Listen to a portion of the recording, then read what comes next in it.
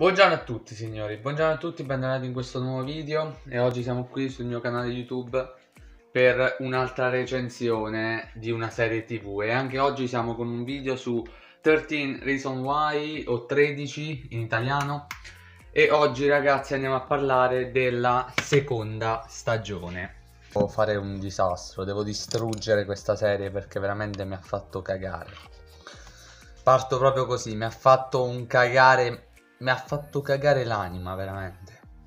Io non ce la posso fare, mi sono dovuto annotare tutte le schifezze che mi sono dovuto subire in questi, in questi 13 episodi. Stiamo parlando di un'ora a episodio, mi sono dovuto subire 13 ore di monnezza.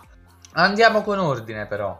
In questo episodio si affronta, pro- in questo episodio, in questa stagione si affronta il processo del, della madre di Anna Baker per incastrare lo stupratore di eh, sua figlia e di molte altre ragazze, ovvero Bryce Walker, che come ricordiamo ha stuprato sia Anna Baker, la, la, dire la protagonista della prima stagione, che ormai è morta, e eh, Jessica, eh, che è praticamente rimasta traumatizzata da questo stupro dopo che l'ha scoperto. E ragazzi, ma che ve lo dico a fare? Cosa, se uno mi chiedesse cosa ha fatto Jessica durante tutta la stagione, basterebbe rispondere, rispondere Gne gne gne gne gne gne gne gne gne. Cioè Jessica per tutta la stagione ha pianto. Se eh, vedeva un ragazzo piangeva, vedeva una ragazza piangeva, vedeva, parlava con una persona piangeva, eh, no, non riusciva a parlare con una persona piangeva. Jessica ha pianto per tut tutta la stagione. Eh, il fatto che sia stata volontata non è un buon motivo per, per rendere... Mh, mm, così monotono un personaggio. Cioè, questo personaggio, ogni volta che intraprendeva un dialogo con un altro personaggio, io sapevo sempre come andava a finire. Lo sapevi oramai. Già la terza volta che l'hai vista parlare, sapevi cosa succedeva. Ovvero, personaggio chiede a Jessica come lei stia. Jessica, come vuoi che stia? E poi iniziava a piangere, iniziava a fare i suoi soliti monologhi. Mamma mia, questo e quant'altro. Questa è Jessica abbiamo chiuso il capitolo. Alex, l'altro ragazzo che nel finale della stagione, della prima stagione io pensavo si fosse ormai suicidato, invece no, è vivo, semplicemente è talmente un coglione, vedete quando è scritto male questo, questo 13, è talmente un coglione questo Alex che si è sparato proprio così, in modo che il proiettile gli passi in testa, però non l'abbia ucciso. Lui semplicemente si è dimenticato tutto quello che era successo fino a un mese prima. Quindi non si ricorda le cassette, non si ricorda di Anna Baker, non si ricorda parecchie cose. Però tu, parecchie cose sì. E man mano lui acquisterà la memoria. Che ve lo dico a fare? Anche lui, come Jessica, passerà la stagione a eh, sono uno storpio e non sono più niente, non mi ricordo più niente, perché poi chiaramente lui è rimasto disabile dopo, questa, dopo essersi eh, tentato di suicidare e quindi non può neanche più camminare perché ha una gamba praticamente che non gli, non gli funziona più e tra l'altro non gli si addrizza il pisello. che detto che sia davvero assurdo, però in questa stagione penso che ci saranno almeno 40 minuti di lui che cerca di masturbarsi e non ci riesce, poveraccio. E, e fanno pensare talmente tanto questa cosa che non gli si drizza il pisello che io mi ricordo solo questo di lui. Cioè tutta la stagione Alex, come Jessica, ha passato a lagnarsi pure lui e gne gne gne, perché in pratica... Ehm, eh, non riusciva a ballare, non riusciva a correre, non riusciva a fare niente, non gli si drizzava manco il pisello, poverino. Quindi veramente davvero un disastro. Questi sono Alex e Jessica in tutto il loro splendore. Adesso passiamo allo stupratore, ragazzi, Bryce Walker, che è quello che mi è piaciuto di più. Ah, fangulo. Alla faccia di tutti i personaggi moralisti di merda. Devi fare uno stupratore? Cazzo! Fallo uno stupratore, un, un cattivo, è un villain, è un villain cazzo, se ne frega, se ne frega.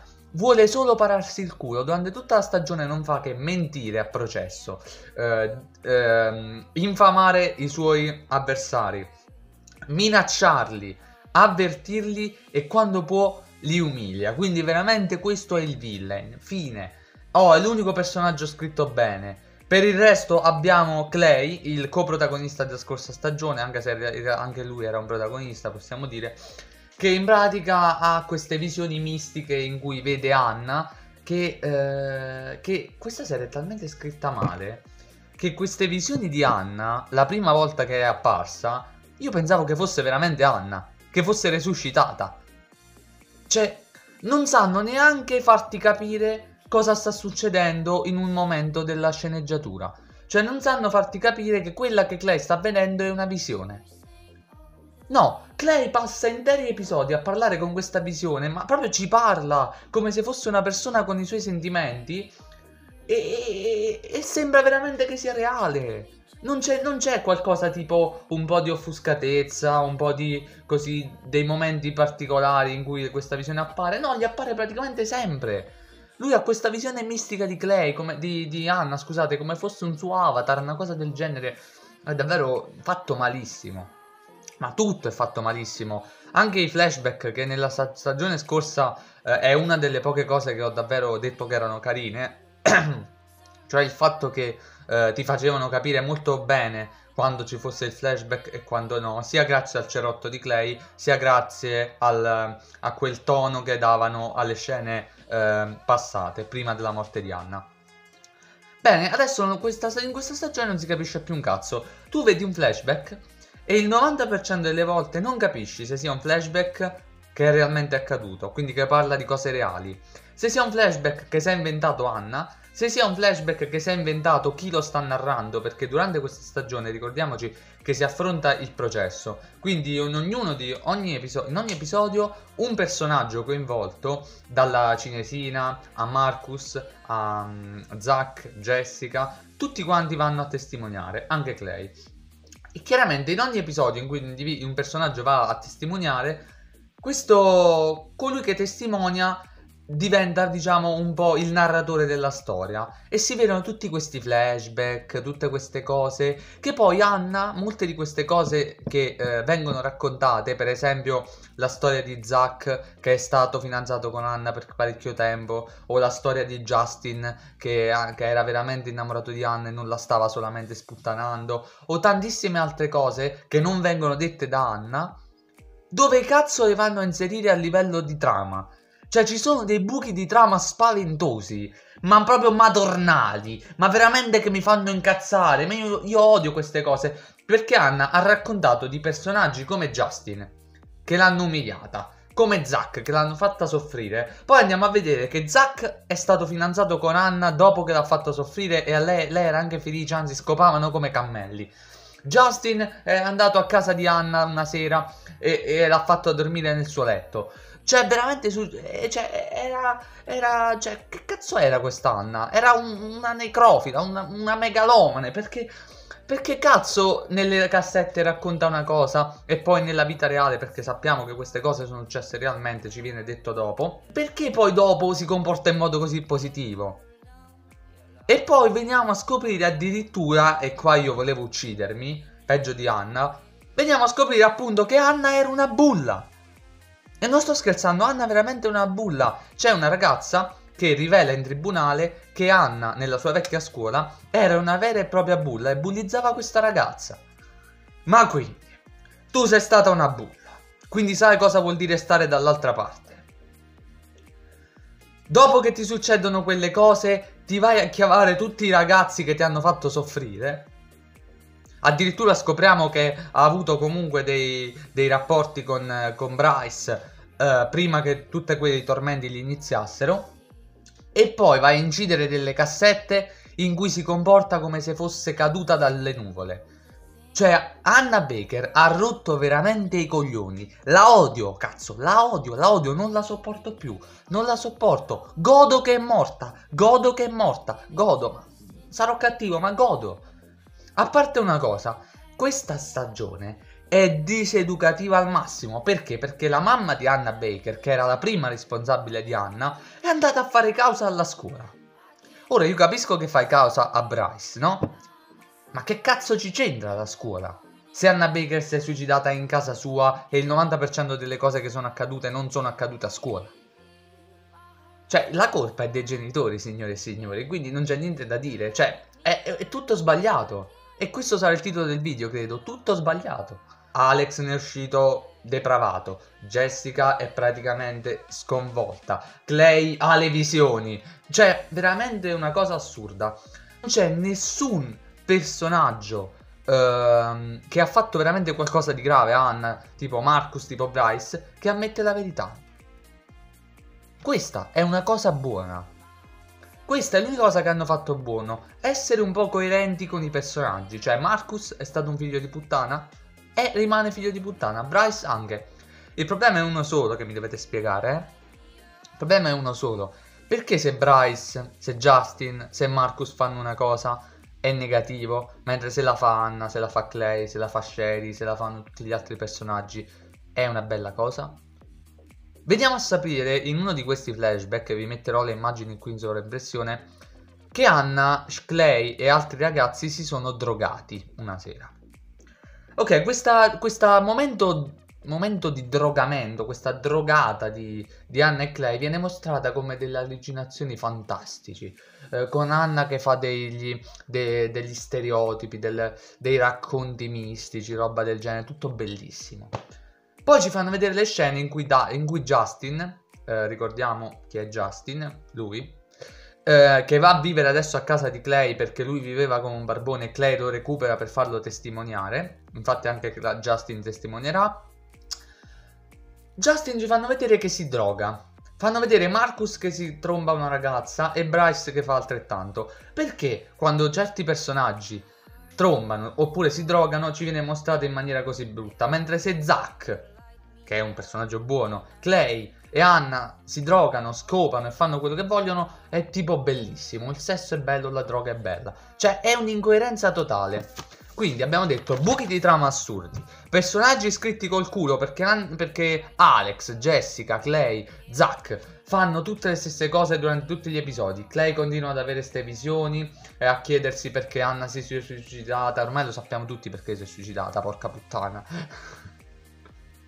Jessica piange, Alex piange, Zack eh, ricevono continuamente ste minacce. E Bryce cammina per i corridoi, consapevole che gli altri non diranno mai la verità. Cioè, alla fine, tutto questo Mbaradan, tutte queste cose che succedono, Uh, tutti questi processi, accuse, uh, il counselor Porter accusa Bryce um, e anche Justin accusa Bryce definendolo lo stupratore, tutte queste cose, tutti questi, questi ingiarmi, alla fine la scuola vince il processo.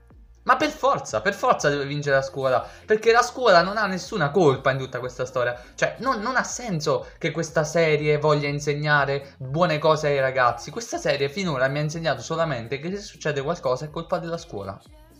Certo.